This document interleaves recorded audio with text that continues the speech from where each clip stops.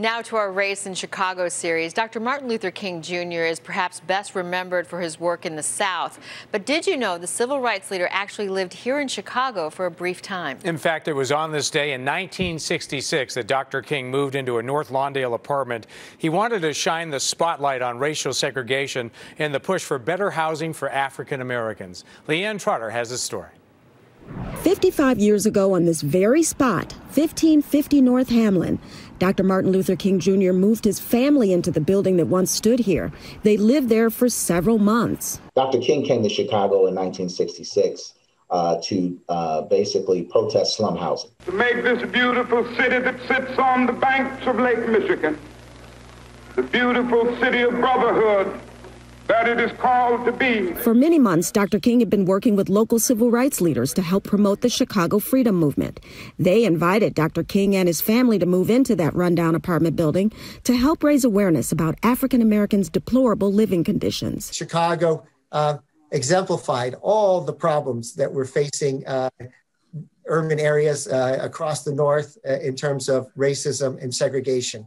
Chicago was arguably the most segregated city in the country at that time. Professor James Ralph is one of the editors of the Chicago Freedom Movement, Martin Luther King Jr., and civil rights activism in the North.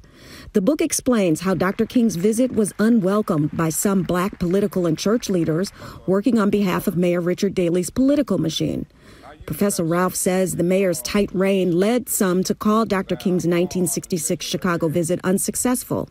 But Professor Ralph says King's visit actually helped nationalize the conversation about civil rights. Chicago Freedom Movement helped dramatize through marches in the summer of 1966 um, the um, real uh, segregation, the uh, dual housing market, uh, the fact that there were barriers to African American access to uh, housing across the metropolitan region. In July 1966, thousands of people packed Soldier Field to hear Dr. King speak, and later at City Hall.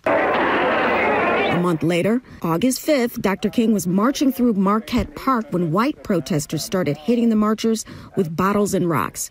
U.S. Ambassador and former U.S. Senator Carol Moseley Braun, who was a teenager at the time, distinctly remembers the moment Dr. King was hit by a rock as she was standing very close to him. When it happened, I remember my first reaction was to get mad. I wanted to pick up a rock and throw it back. But he didn't. He had this beatific look on his face. He just let it go, just wash over him.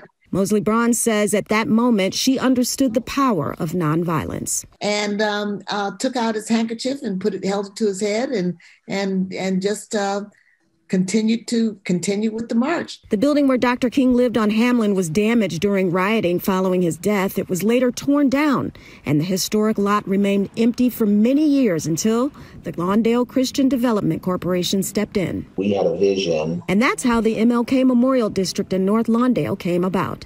It's affordable apartments and an event space for community residents to enjoy. We said we want to build a building that Dr. King would have been honored to live in.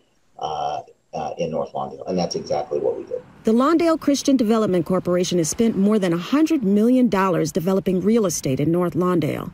This year, they plan to build affordable single family homes there. For us, it's about equity and it's about the racial wealth gap. And so, how do, you know, black and brown folks have an opportunity uh, to gain equity and build wealth? And one key way to do that is home ownership. LeeAnn Trotter, NBC5 News. Such an important part of our history. Our thanks to LeeAnn for bringing it to us. Our Race in Chicago series continues online with an interview about teens and race. Our newest episode of The Path Forward, hosted by LeeAnn Trotter, is now available at NBCChicago.com or on the NBC Chicago app.